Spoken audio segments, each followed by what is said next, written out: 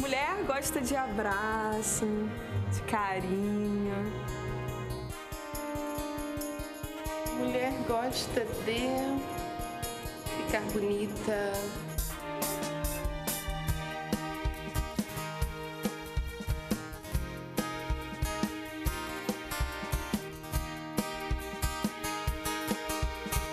A gente quer ser feliz. Mulher quer ter o seu espaço.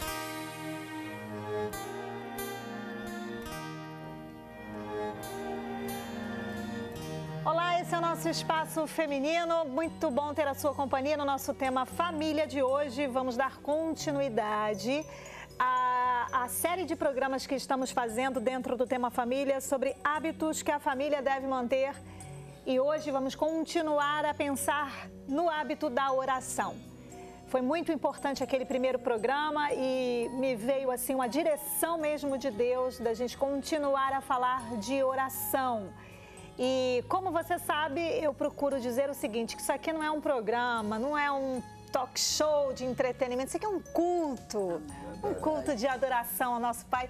E a, a, algumas queridas entrando no Facebook disseram, é o culto dentro da minha casa, adoro bom, essa né? palavra. Eu achei muito bom, achei muito legal.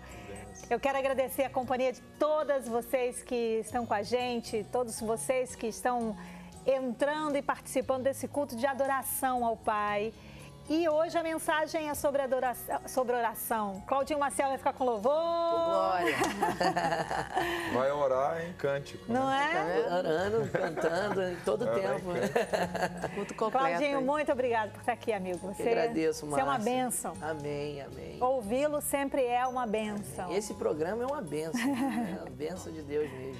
Deus é bom demais. Então, no nosso culto de hoje, a gente vai ouvir o Claudinho adorando ao Senhor com a gente, né? Vamos cantar com ele, adorar Com com, ele. Pastor Ronaldo Lucena, Uma alegria imensa, depois né, de, da- Poxa, dos períodos de férias, Muito bom, voltando. muito bom. Obrigada Que por alegria estar aqui. estar aqui. Rosângela Mota, nossa querida. Pois. Obrigada, Rosângela, Obrigada, por estar eu que digo sempre, Márcia, é muito bom estar aqui. Como ele falou ali, o programa é uma benção, né? A gente É nosso culto, né? é culto de verdade. Culto de adoração Adoração, Pai. louvor, palavra, tem tudo. É isso. Agora, dentro do nosso eh, caminho de pensar a oração, promover aí o entendimento claro sobre oração, a ideia é que você esteja com a gente nessa, nessa caminhada, nesse entendimento. Porque, eh, pastor Ronaldo, muitas vezes a oração, ela, ela é um... Ela, de repente, foi uma ferramenta abandonada, né? deixada de lado, Rosângela, Claudinho, e ela tá ali deixada de lado. E quando o incêndio tá forte, a gente vai lá e recorre a essa ferramenta. Enquanto que ela pode ser útil a- é, em tempo, fora de tempo, né? ela, ela é uma ferramenta de Deus nas nossas vidas para trazer a prevenção, De aquele relacionamento com Ele, né? fortalecimento. É de comunhão, de relacionamento com Deus, na verdade. Agora, infelizmente, é- o que acontece é uma dicotomia, né? A pessoa separa o corpo do espírito ali, né? A vida social, material, né? Da verdade. espiritual, aí pronto. Aí ele acaba colocando assim a oração dentro do pacotinho da religião, né? Aí não, então serve para esse momento só da minha vida aqui. Quando eu for domingo lá no templo, né? Aí Engraçado eu isso. pego e É vou. É. Uso exercer isso dela, né? aqui, né? Oração é um E não, relacionamento, né? Isso. É um relacionamento Diário, diário, é. com Deus, né? Falar todo dia com Ele. Como eu falo contigo, Uhum. com a Márcia, com a tua esposa, com teus filhos, você está falando com teu pai todo dia, né? Ligado com Ele todo dia. E quando tá cantando, tá orando, né, Rosângela? tá Tá ali verdade. fazendo uma atividade em casa, tá orando. Essa consciência é tão importante, porque quando me convidaram para fazer, para estar aqui, eu falei, gente, eu acho que eu não sou a pessoa certa, porque eu sou tão é, desconstruída de, de, de hábito. É a pessoa certa. Aí eu falei assim, caramba, porque eu acho, tão- eu acho importante o hábito, mas eu acho também que as pessoas devem valorizar exatamente o sentido da oração, que é essa relação com o Pai. Então você não precisa estar no momento certo, no local certo, no, né, coisa. Você tem essa disposição de conversar com o Pai, sempre a consciência de que essa comunhão é, é, é o Mas, que é Rosângela, importante. você falou uma coisa muito preciosa agora. Você falou assim: eu sou uma pessoa tão desconstruída de hábito. É exatamente por exemplo, a, a, o, seu, o, o, seu movimento. Você também pode ser assim, essa pessoa que está dizendo assim, puxa, eu sou uma pessoa que realmente é, é hábito para mim, é uma coisa que. Mas deixa eu lhe dizer uma coisa.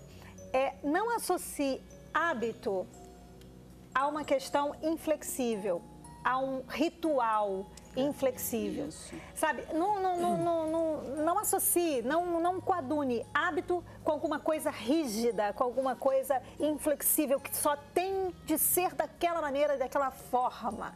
Porque muitas vezes você tem um hábito, digamos, você tem um hábito de comer. E você nem sempre come da mesma maneira, a mesma comida, não é verdade? É. Mas já, é um hábito. É. Márcia, já pensou se na história do profeta Jonas, né? Uhum. Ficou famoso por ser engolido pelo peixe, pelo grande peixe. Ele fez uma oração. Sim. Já pensou se ele transformasse aquilo num hábito? Não, Deus só vai me ouvir. Se eu tiver dando se todo dia foi engolido pelo peixe, né? Então, né? É, no programa... É tipo, de, se, se, Deus estabelecesse que eu tivesse que ir a Jerusalém, pra fazer uma caminhada lá é. para ter encontro com Deus. Se eu tivesse que ir na igreja... É. é. Né? Seja. Eu disse até no programa anterior o seguinte: digamos que você acha que oração válida é a oração de joelhos. Mas aí você tem um problema no joelho. É, Não pode dobrar o é. joelho. Você tem uma situação em que você tem uma necessidade espe especial e está numa cadeira de roda. Ah, uhum. Então a tua oração não vai ser ouvida? É verdade. A gente precisa é. desconstruir isso. isso né? Você é um motorista de ônibus, você vai, como é que você vai poder dobrar o joelho, largar o é. volante ali? Pois é. e uma vez eu me Não tem como, né? é. Uma vez eu coloquei aqui até a questão também que às vezes você também tem o hábito de ficar orando tão mecanicamente que deixa de ser uma conversa com Deus. Eu lembro que eu contei uma vez que eu entrei dentro do ônibus Abaixei a cabeça, Senhor, obrigado por este alimento. Em nome de Jesus, amém. Aí eu, hã? Alimento? Só porque eu tinha que... que eu ia beliscar o negócio. Eu falei... Aí eu falei, olha só, olha como é que também você pode Muito fazer bom. o efeito contrário, né? Você cria um hábito e passa a, a praticá-lo sem significado, é. sem entender, é. sem ter consciência da importância dele na sua vida. Então, é bom entendermos que hábito, eles precisam ter esse lugar um lugar de entendimento. Né? É um lugar onde eu não entre naquela situação de uma forma mecânica e a oração ela é esse diálogo com Deus. Bom, com a gente no nosso espaço hoje, a gente também tem a participação querida da Lohana Sena. Ela é uma chefe querida e traz pra gente hoje o um mingau vegano de maçã e pera. Obrigada, Lohana por estar com a gente no nosso espaço hoje. Bom, já que é o culto, né? Vamos orar? Vamos orar e a ideia é que nós possamos estar orando a palavra do nosso Pai. Sabe, onde a palavra do nosso Pai nos inspira e nesse texto bíblico a gente ouve a voz de Deus e usa essa mesma fala do Pai para um movimento de oração. Então, o texto é de Romanos, no capítulo 12. Se eu fosse você, eu lia Romanos 12 hoje, porque é muito lindo esse texto e muito inspirador. E palavras de oração estão ali. Eu, eu gosto de ler a Bíblia assim, sabe? Eu leio a Bíblia e, e aquele texto ali me, me leva à oração. Senhor, eu, eu, eu quero que o Senhor atue dessa forma em mim.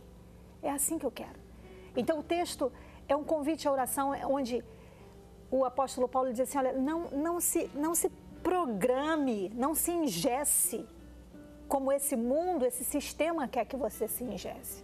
O sistema é um sistema de medo, de receio, de, de indiferença. E esse sistema quer você no formato dele, no moldezinho dele. E Paulo nos convida, e eu creio que é um convite à oração, de, de dizermos hoje, Senhor, eu não quero me amoldar a um sistema que quer me colocar engessado no medo, quer me paralisar com a indiferença, e, é, que quer contaminar o meu coração e moldar ao meu, o meu coração a não perdoar, a não ser ágil em perdoar, a não amar, a retribuir o mal com o mal, não, Senhor. A falar mentira, não, Senhor. Eu não vou me moldar a esse mundo, mas eu vou me transformar pela renovação da minha mente, para eu experimentar, Pai, a tua vontade que é boa, que é perfeita e agradável. Ora assim com a gente. Está aí no vídeo, no nosso momento de oração, nesse nosso culto.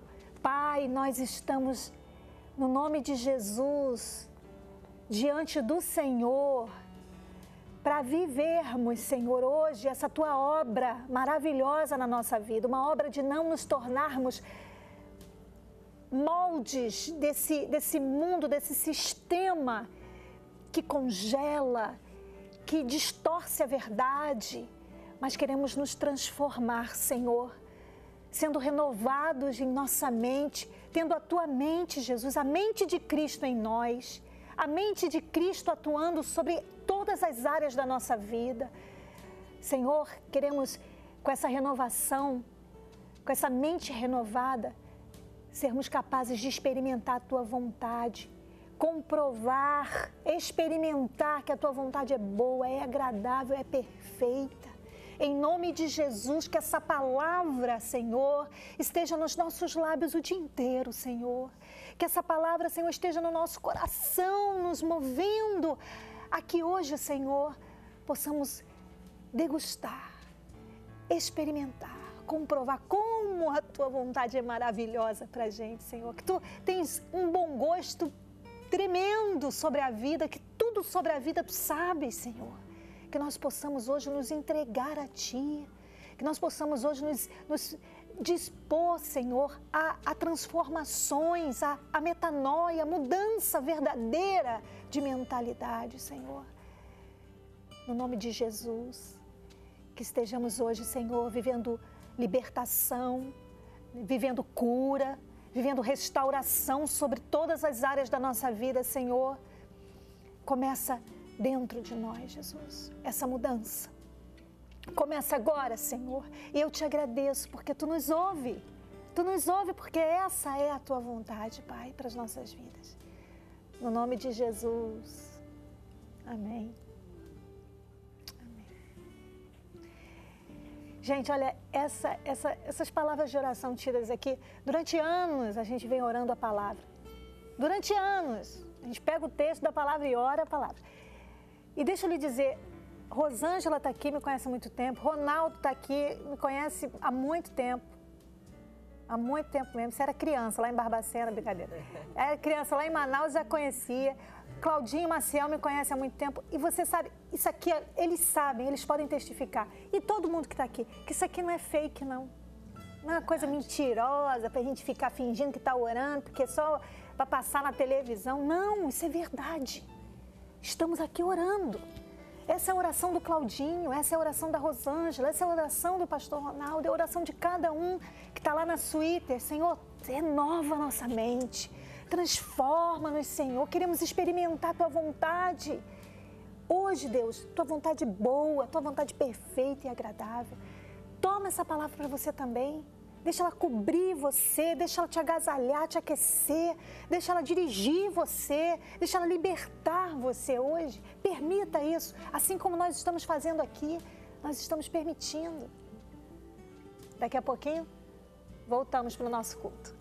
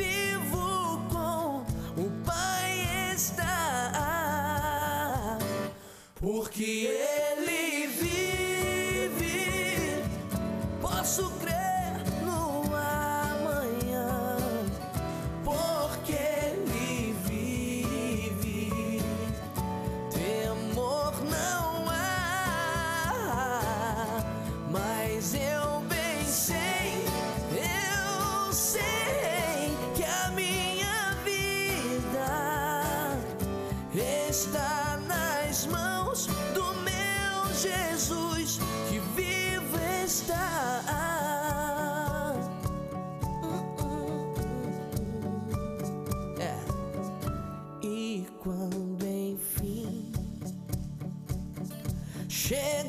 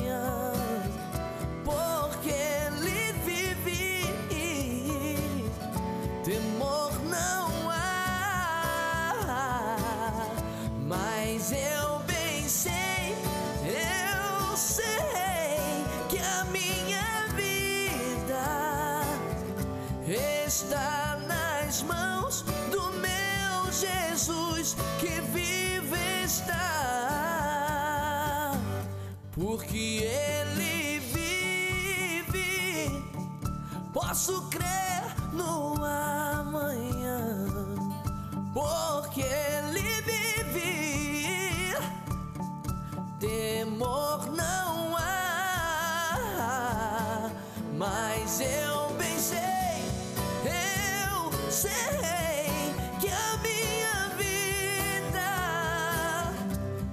está nas mãos do meu Jesus que vive está. Mas eu bem sei eu sei que a minha vida está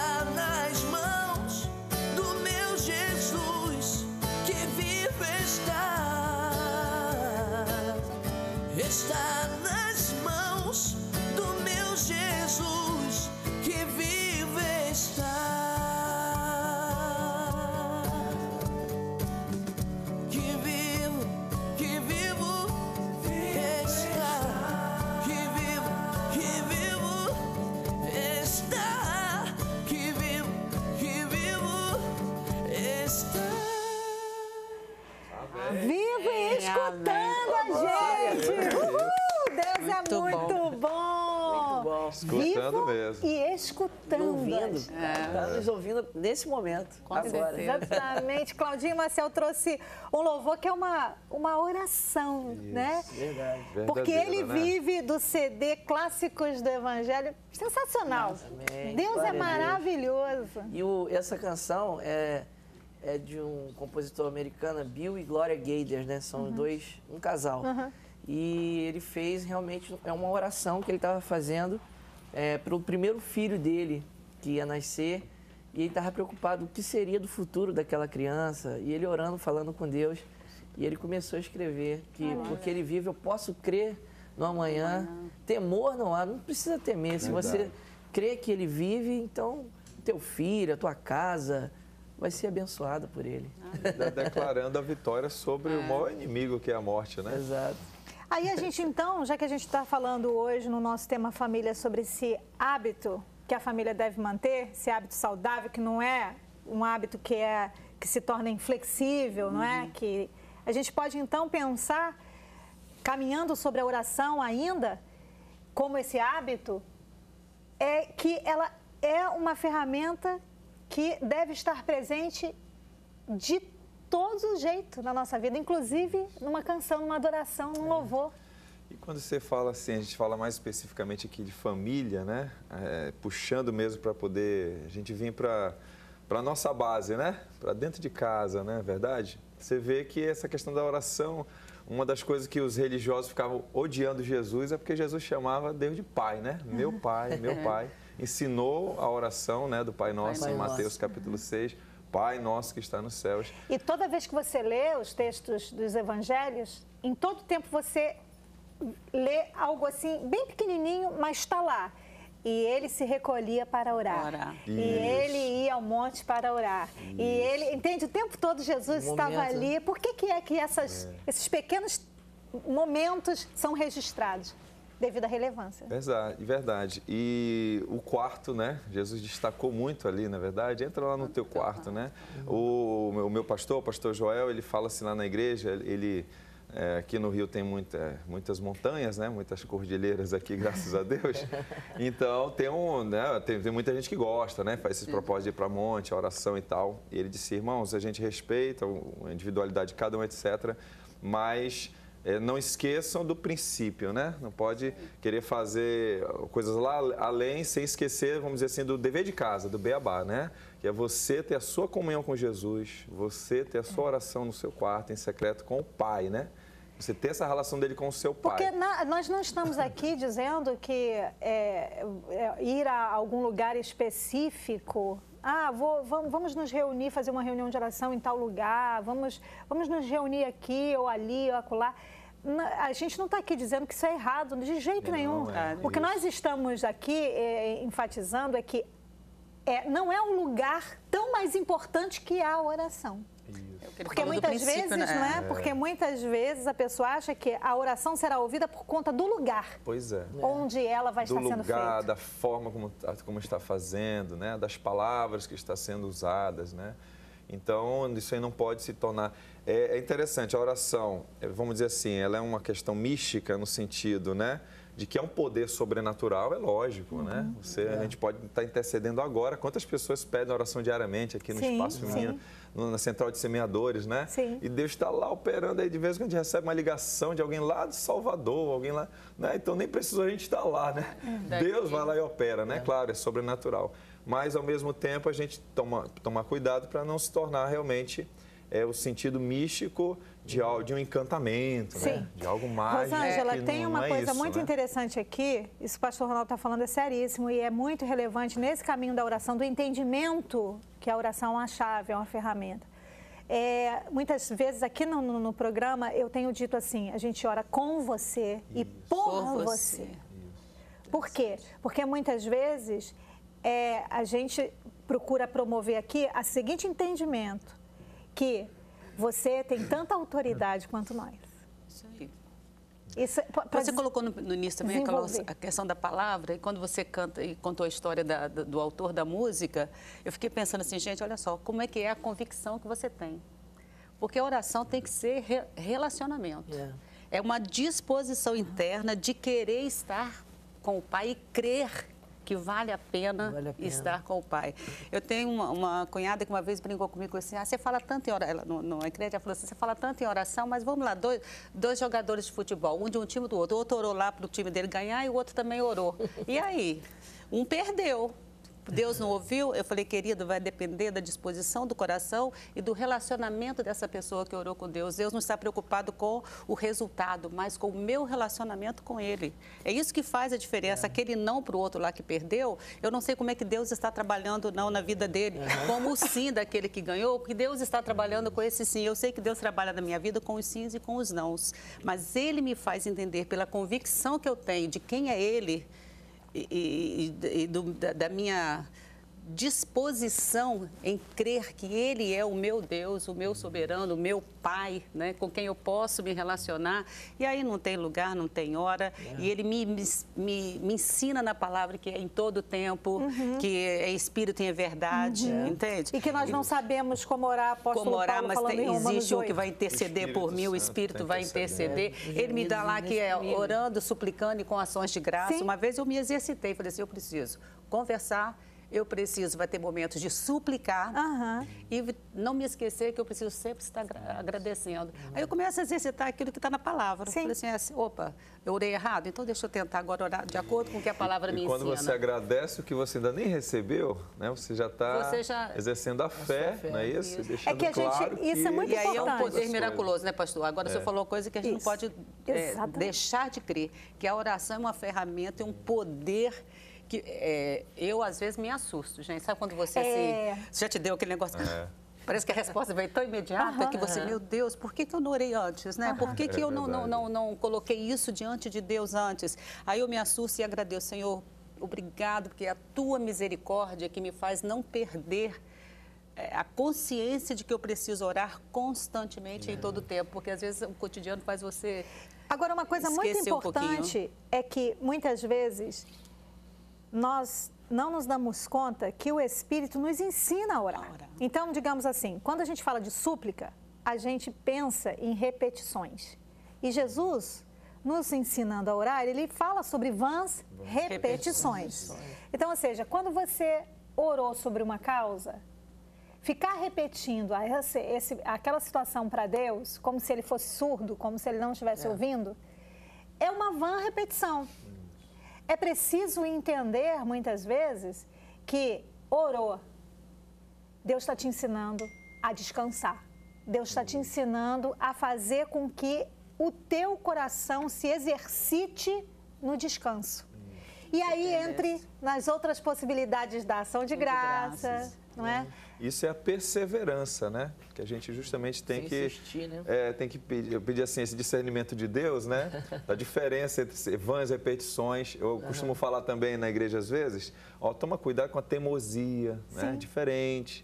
Você está teimando em cima de um negócio que você já sabe, a Bíblia já deixou claro que não é vontade de Deus para você, não é verdade? O Espírito Santo está testificando no seu coração que não é aquilo ali que você precisa, mas aí quer ser teimoso Você ali, falou uma né? coisa tá muito boa. um Então vamos lá. A oração ela precisa estar sendo feita em nome de Jesus. Isso, é? fundamental, né? Ela De precisa a estar, vontade. ela precisa estar sendo feita de acordo com a vontade, de, Deus, não é? E dentro essa vontade de Deus está dentro da palavra dele. É. Muito importante, assim, em nome de Jesus, tem um desses pregador famoso aí de, de internet aí, que só Jesus na causa. o camarada, assim, tem hora que ele, ele, ele ó, quem tá falando aqui é fulano de tal, hein, Deus? Tal. Eu disse, rapaz, o camarada tá, tá forte, né? Né? Mas em nome de né? Jesus, é, né? O né? fulano aqui que tá falando contigo, né? Então é muito sério isso, né? É muito, sério. É tem que ser em nome de Jesus. Isso. Em nome de A Jesus. oração Essa- só faz efeito, né, se você é, primeiro vier com o coração contrito diante do Senhor, né? Ah, o coração quebrantado, o Senhor não rejeita. Então, quando você se quebranta diante do Senhor, reconhecendo a soberania dele, que ele está sobre tudo, sobre todos, que é a vontade dele que tem que prevalecer, né? Então, você se sub- submete à vontade de Deus, então ele vai aplicar a vontade dele na tua vida, que é o que você leu lá em Romanos, né? Logo 3:12, né? né? Que a vontade de Deus ela é boa, perfeita e agradável para aqueles que seguem, que seguem a- fazer, que se submetem a fazer a vontade de Deus. Você está falando uma coisa muito preciosa, Claudinho, que é a- a- o coração contrito, o coração é, que é quebrantado. E Isso. eu tenho dito aqui que não há nada mais inteiro do que um coração quebrantado. O coração quebrantado é aquele coração que se deixa, né? se deixa trabalhar, se dispõe. E muitas vezes a gente acha que uma oração é atendida na dureza do nosso coração. Muitas vezes a oração que ela não é atendida do jeito que eu quero é como se Deus não me ouviu, né? Assim, é, eu fiz uma oração, ela não foi respondida do jeito que eu queria, então Deus não me ouviu. E aí é, tem gente que chega comigo e fala assim: eu fiquei chateada com Deus. É, olha só. Oxi. É. Isso é muito comum, gente. É Eu muito fiquei, comum. eu, eu fico é. olhando isso, eu falo, como, como, como assim? né? Como fica chateado É, com Deus? campanhas do tipo, olha, nessa sexta nós vamos colocar Deus na parede. Olha isso, que isso? Entendeu? Você vai expressar Sério sua mesmo? Já ouvi, já ouvi essa Já, já. É terrível, terrível aí, a falta do entendimento. consegue, né? É falta Ela da palavra. de Deus, porque Deus não, não, não, não cumpriu É com o que prometeu. Olha, olha, O Deus absurdo, existe aos né? soberbos, né? Ele vai dar graça aos humildes, né? E a, a nossa humildade, ela, ela expressa diante de Deus diante, diante de muitas outras, muitas formas, né? Mas uma delas que é justamente a oração, né? Quando você se humilha diante da potente mão de Deus, né? Você Quando- lança sobre ele as suas ansiedades através de quê? Da sua oração. Sim, Né? lançando sobre, ele, Toda a vossa a, vossa apóstolo. Paulo falando no capítulo 5 da primeira carta dele, apó- apóstolo Pedro, Pedro, é. Lança sobre ele toda a sua ansiedade, porque ele, Ele tem, tem cuidado. cuidado. Isso. Ele tem cuidado, Rosângela, da gente. Então, como é que eu vou colocar Deus na parede? Que negócio é, É. esse? Olha, é Quem é que, como é que o, como é que o, o- o barro É. vai, Vai chegar com o. Criador, É. não é? Como é, que, como é que é que o barro vai chegar com o Criador e dar ordens ao Criador? Ô, Não é? Márcia, e a gente, se- a gente tende a ser soberbo em tudo. E, e não adianta a gente falar que não é. Nas pequeninas coisas. Às vezes você começa a achar assim, não, eu creio em Deus, vai acontecer, mas você começa a agir, né? Tá, sabe, você começa a achar soluções. Aí Deus vai te permitindo que você não encontre as soluções até você se dar conta de que a solução é dele. Sim, Eu não sei se sim. você já já, por essas Já, experiências. já. né? Aí você fica assim, você vai fazendo, não, porque eu posso, não, eu vou, eu tô- Aí de repente. Tá tudo sistematizado, é, aí de repente você chega numa situação que você tem que realmente reconhecer. Olha, não é de mim, não sou eu que estou conseguindo. Senhor, é o Senhor. É e aí a coisa acontece no outro dia, imediato. É isso que me assusta às vezes em oração. Falei assim, por que, que eu fiquei tentando eu resolver e orando? Mas assim, aquela oração que você ainda está, é, você ainda, ainda não está totalmente dependente do Senhor. exatamente. Você crê, mas você ainda quer fazer. porque você ainda a quer oração, ajudar Deus. A oração ela precisa ser um movimento coerente também. Uma vez que eu estou orando, eu preciso, no momento em que oro e termino a minha oração, eu preciso entender que a minha, que a minha oração continua. Continua com a minha coerência de fé. Digamos, eu estou orando por uma. Senhor, abre uma porta X para mim. No momento em que eu terminei de falar isso, eu acho que a minha oração terminou ali, aí eu começo a me desesperar aqui do outro lado. Acabei de orar! Pois é, né? Acabei, enten- entende como é? Então a gente precisa de coerência, precisa ser congruente. Se eu orei pedindo ao Senhor que Ele abra essa porta, eu quero entender se essa vontade é dele, perfeita, agradável, vontade dele. Então eu vou continuar orando através da minha postura. E aí vem Salmo 37,4. Descansa no Senhor. É. E Ele considerará o que deseja o seu coração.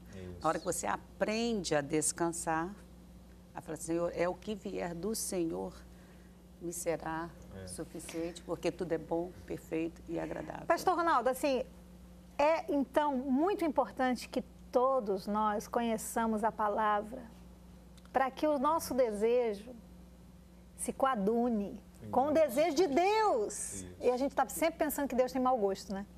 Pois é, né? E a palavra está dizendo que a vontade Boa, dele é boa, perfeita e e agradável, agradável. né? Seja ele respondendo sim, não, às vezes espera, né? É. Na verdade, é, é, às vezes as pessoas pegam um texto isolado ali de, da palavra de Jesus, de João capítulo 14, se eu não me engano. É, tudo que vocês pedirem será feito. Opa, pegou isoladinho ali, Ai, quer que né? Aí, meu Deus do céu, né? Então Deus virou o gênio da, da lâmpada e vai fazer tudo e não. Aí você tem que observar todo esse contexto. O apóstolo João vai falar na sua carta, né? Segundo a sua vontade, Segundo a sua é vontade. verdade?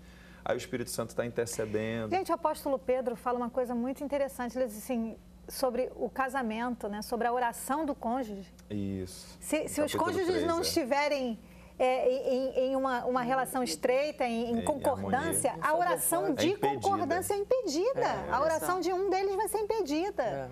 Ou seja, tá brigado lá com o maridão. e- Vem orar aqui. E vem orar aqui. Quer dizer, vai- a coisa vai ficar batendo ali Ah, naquela, Mas naquela, aí, o que naquela que porta acontece? ali fechada. Aí, o que, que acontece, né? Você, aí tem gente que usa o subterfúgio justamente do sacrifício. Aí pega a oração, transforma em sacrifício. Não, então eu vou fazer sete semanas de, De né, de oração. oração. Eu vou fazer 40 dias de jejum. Eu vou subir no monte mais alto do Rio de Janeiro, né?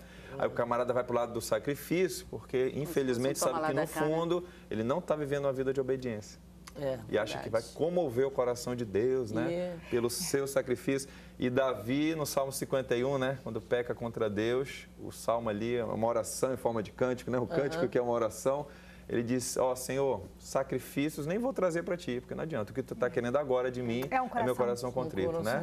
Um novo coração. E, o, e o- você vê assim, Davi não foi, não foi é, tido, não foi colocado como, não foi é, é, acionado ali na palavra como o homem segundo o coração de Deus pela quantidade de acertos que teve. Não, é. Porque ele, ele falhou, Foi. feio, Caramba, né? é. Foi, foi, ele, ele, foi tido como coração de Deus devido à forma como ele se entregava num quebrantamento, numa entrega Diante de diante de, Deus. todos os erros que ele tinha cometido. Eu, né? eu gostaria até de deixar uma palavra com, com, com as pessoas assim. Às vezes você não tem vontade de orar. Às vezes você está com o coração tão, tão carregado, ou, ou a, a sua tristeza, ou a sua ansiedade, ou a sua inquietação, ou a sua amargura, não sei o que, que pode estar no coração da pessoa, que ela não quer. Mas se eu sei em quem tenho crido, Se eu sei que Ele é poderoso, Uhum. se eu sei, aí eu vou mesmo sem querer. Eu, eu faço isso muito comigo, tipo assim, eu não preciso estar com o desejo agora É. de orar, mas eu preciso ter consciência de que é uma ferramenta que Deus me, me, me, me deu para estar diante dele na hora da minha necessidade. E aí eu sou sincero diante de Deus, Senhor, eu estou aqui, eu não estou com vontade. Se eu for esperar o desejo, eu não vou estar agora conversando com o Senhor, mas eu sei que o Senhor é poderoso para transformar essa minha mente e meu coração, pra, porque eu quero que o Senhor saiba que a minha intenção é estar na tua presença. Eu só não estou com vontade. E E, aí, você- gente, e quando você você- vê, é o dia que você mais ora, Márcia. E você é o não dia que precisa. você passa horas orando Mas nesse isso dia. é lindo, sabe por quê? Porque você não precisa sentir, você tem que crer. Crer isso. As pessoas né? ficam Porque achando que tem que ter uma nessa, revolução né? emocional. Ah, eu tenho que sentir para orar, eu Tem tenho que sentir o momento. E nisso sentir você o está se momento, humilhando, é, né? exatamente. Justamente está se revelando a Esse é um- humildade. é- né? é- essa atitude é de É. coração quebrantado. Senhor, eu Isso. aqui e eu não tô te sentindo nada. Não tô te sentindo É, perna, não te sentindo sentindo. braço, não sentindo sentindo nada. Mas eu tô crendo o tempo todo. Eu tô crendo, Senhor, eu tô crendo. E, e, sabe, gente, é, é- é fazer uso dessa ferramenta em todo tempo. Até porque Através de um. Jesus ensinou o tempo todo isso que você colocou no início do programa. O tempo todo a Bíblia está me mostrando que Jesus saiu para orar. Se ele orou o tempo todo e se relacionava com o Pai, quem sou eu para achar que não existem, eu, preciso? eu queria dizer para você o seguinte também. É, tenta, a partir de hoje, desconstruir frases feitas. Sabe, aquelas frases feitas, que parecem uma reprodução da sua mente e, e- e- e- sai na sua boca e não faz o menor sentido na relação com Deus. Tem, tem, tem muito disso. A gente muitas vezes faz uma oração que é para os outros ouvirem. Aí começa a pregar na hora da oração. Então, ensinar a Bíblia para Deus. É ensinar para Deus. Aí, aí pegou. é. Já vi isso, já. Tá entendendo? Ora, fulano. Aí É o fulano "É, é, sincera. Senhor, aí começa a querer pregar, querer dar testemunho, querer ensinar a Bíblia para Deus. E o que é aquilo? É? Eu acho que a gente precisa revisar isso, ressignificar Não, é esse, é. essa ferramenta da oração, pastor Ronaldo. Precisa. E sobre essa questão do orar sem cessar, né? Que se você for depender realmente do, do seu momento na congregação, com uma, com uma igreja normal, no máximo são três cultos semanais, na média aí, né? Então você imagina, de 172 horas da semana, você, Você vai tirar seis ou oito horas, né? E tal, só né? vai orar se alguém orar por E você. se alguém É. orar por você, não é verdade? E se o cara orar direito lá no púlpito, porque se não orar, o camarada ainda vai reclamar, né? Poxa, esse culto não foi legal, né? Já tem essa história, né? Então, uma vez eu falei assim, gente, ser- seria estranho ou não se eu chegasse com vocês aqui na igreja agora e, dis- e me gabasse de que nessa semana eu conversei com a Giane 10 horas. Olha, eu conversei 10 horas com a minha esposa. Vocês iam achar estranho, né? O cara não mora 24 horas com a mulher? Como é que ele conversou 10 horas e ainda está se gabando, né? Então, a relação tem que ser com 24 Isso, horas isso. praticamente ali, não é É, isso? boa. Então, é, às vezes a gente se gaba, né?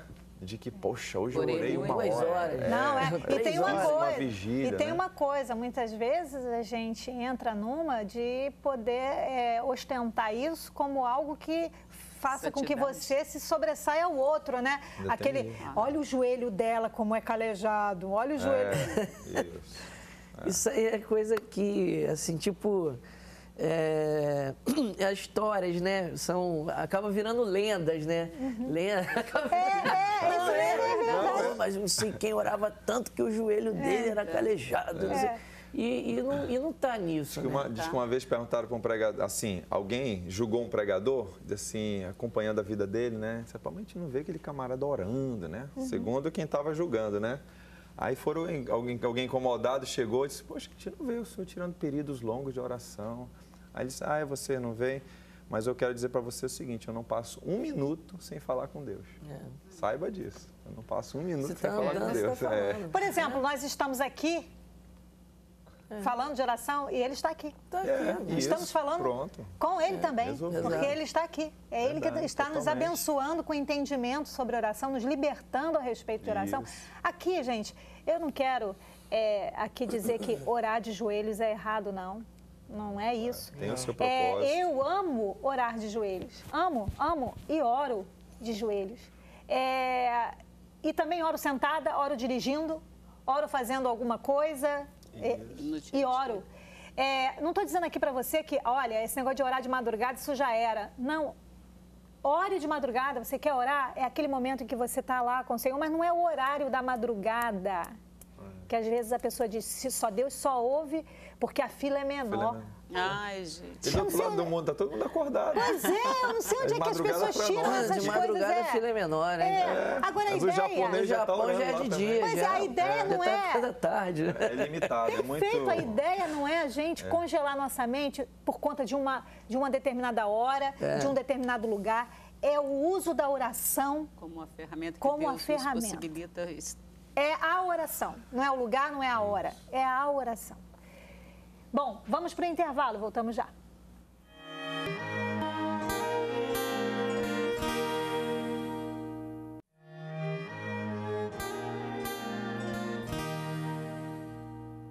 Olá, boa tarde. Meu nome é Lohana Sena e hoje a gente vai estar preparando um mingau vegano de aveia com canela e pera, maçã. Então, para começar, a gente faz um chá que eu já deixei pronto é, de maçã, porque como é vegano a gente não vai usar leite para nossa preparação, né? É livre de lactose. Então eu já deixei a maçãzinha, o que, que eu fiz? Esperei a água ferver, coloquei a maçã, tapei, deixei abafar, sei lá, pelo menos uns 5 minutos. O ideal é que seja de 5 a 15 minutos para pegar bastante sabor. Então eu vou ligar o fogo, a panela do nosso mingau, que é essa daqui. A gente vai começar colocando o nosso chá dentro dela. É bem simples. Bem quentinho. Caiu uma sementinha aqui, rapidinho. Opa! Opa! Será que vem? Acho que não vai vir agora não. Foi. Só um instante. E a gente já coloca a nossa aveia em flocos e ela vai cozinhar aqui por mais ou menos uns 10 minutinhos. Então, a gente já liga o fogo. Não coloca açúcar nesse momento, tá? O chazinho de maçã, ele já adoça, então é uma receita livre de açúcar industrializado também. E a gente vai esperar essa água secar. Ela cozinha, fogo não muito alto, né? A gente tem que controlar o fogo.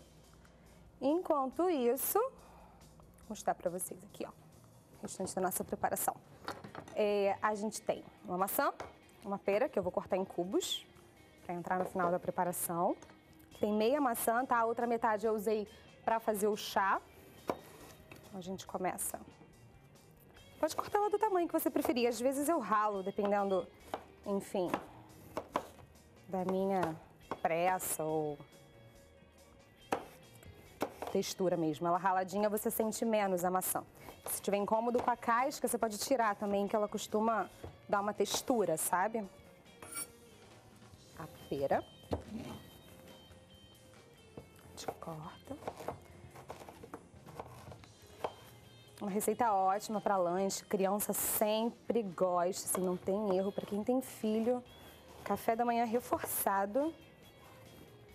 Acho que eu vou botar mais um pouquinho de pera.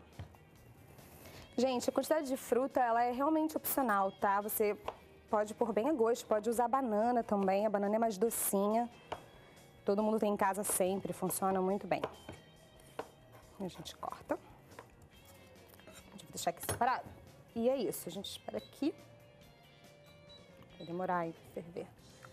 A aveia, se você tiver tempo, enfim, e lembrar, você pode colocá-la de molho de um, umas quatro horinhas, que aí ela nem demora tanto para cozinhar, tá? E aí você descarta a água do molho e cozinha ela em outra água, de preferência. Deixa eu esperar um pouquinho. Começou a ferver, eu acho.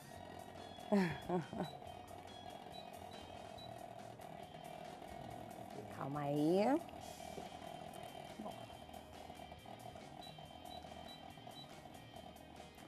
Enquanto a gente espera dar o ponto, vamos bater o leite de castanha, como a gente não usa leite, falei mais cedo. A gente pega uma xícara de castanha para fazer qualquer leite vegetal que você queira, de coco, de castanha de caju, enfim, de semente de girassol. Você vai usar a medida sempre assim. Uma medida de castanha para metade da medida de água. Então aqui eu tenho meia de castanha de caju para um quarto de água. Eu já deixei medidinho, separadinho. A gente coloca tudo no liquidificador. Agora, o liquidificador é sempre uma coisa linda para bater pequenas quantidades. Vou bater, tá?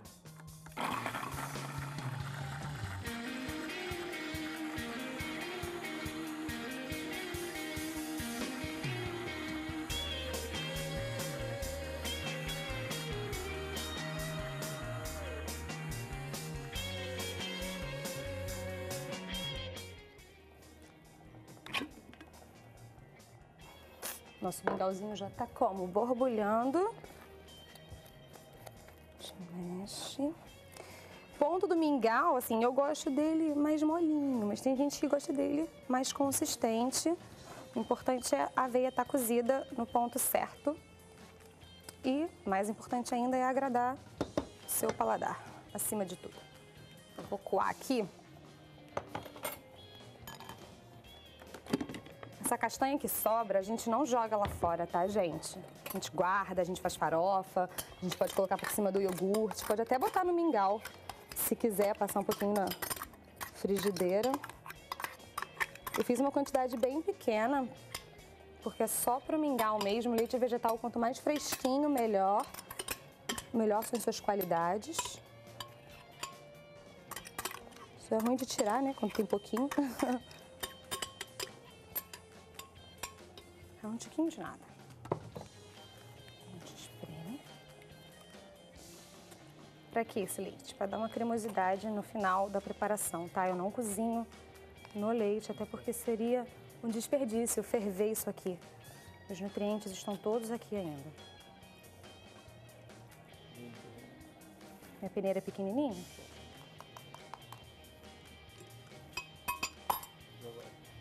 Calma aí. Quase no ponto.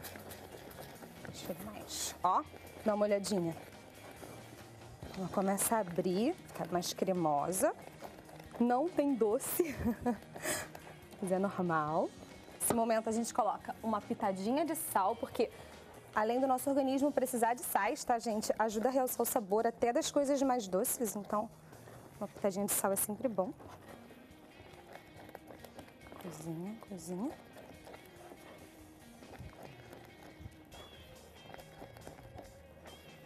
Vou provar, porque sem provar a gente nunca sabe o ponto. Do jeitinho que eu gosto. Ó, nesse momento eu acrescento as frutas. Se você gosta dela mais cozidinha, você pode acrescentá-la antes. Se você prefere al dente, não precisa botar tanto tempo. Você mexe.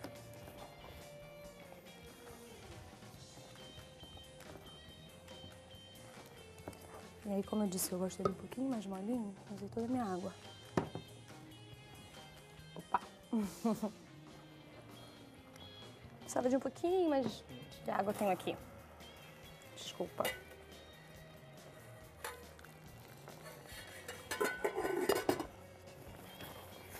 Só para ele ficar cremoso. Mexeu.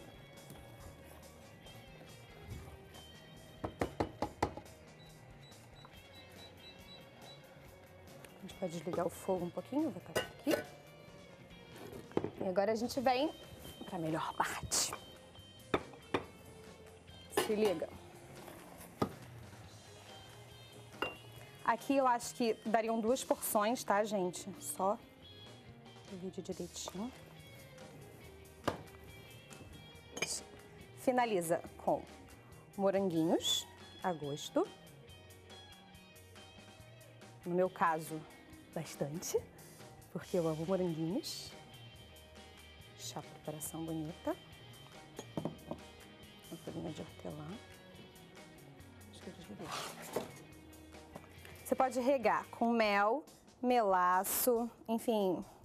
Se você não consome esse tipo de coisa, consome adoçante, você coloca um pouquinho de adoçante no chá, porque se colocar por cima ele não vai adoçar, tá? O adoçante que você preferir. Canela, uma pitadinha. A gosto. Opa. E é isso. Tá pronto o nosso mingau vegano de morango com pera e maçã. Ah, faltou. Desculpa, gente. Faltou o mistério. A gente joga o leite de castanha. em volta. Foi?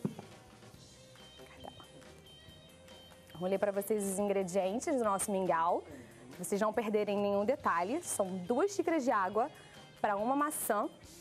Essa maçã eu cortei, deixei ela, né? Mostrei para vocês, a gente fez o chá, então é meia maçã com duas xícaras de água para fazer o chá.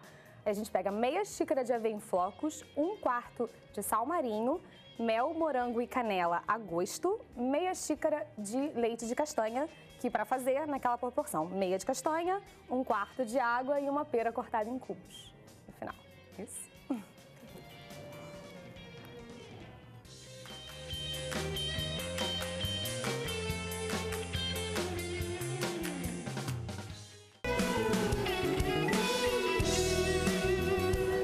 Último bloco do Espaço Feminino com a música que está aí do Claudinho Maciel, 17 anos de adoração. Valeu a pena esperar, é a música que a gente está ouvindo aí. E eu quero agradecer aos queridos que hoje nos abençoaram aqui com a Acho que esse presença. programa seja uma benção, um despertamento, né? Você que acha que não pode orar, claro que você pode, né? É E que você lógico, não tem né? autoridade, poder para orar, que sua, sua oração não é atendida, é atendida. Isso, em Cristo Jesus. Você pode todas as coisas. Rosângela, Exatamente, Márcia. É tão bom é, falar disso e da- do nosso cotidiano com Deus. E saiba, amiga, que você tem um local também específico para orar, também isso é bênção. Tá? Então, se você tem o seu quarto, como você falou que tem, né? A gente tem um local específico onde ali você se derrama, graças a Deus por isso. Mas se você não tem na sua casa, não, é por isso que você vai deixar de orar. Você vai ter essa disposição de estar caminhando sem uma lenda, mas caminhando com Jesus Exatamente. o tempo todo, na presença dele. Claudinho, Eu agradeço essa oportunidade, né? E dizer o seguinte, que a oração, eu aprendi isso com a minha mãe, que a oração de um justo, ela pode muito em seus efeitos. A palavra de Deus diz isso. Então, se você já foi justificado, porque o Senhor é quem nos justificou. Sim. Então, meu irmão, a tua oração tem efeito.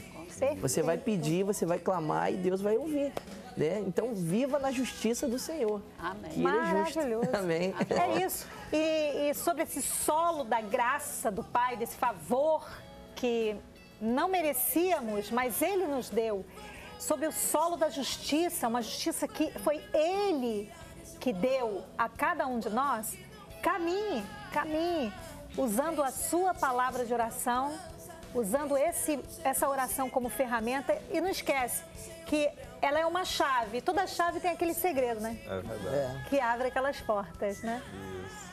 Faça uso da oração sempre, em todo, todo tempo. tempo. Pai. É edificado.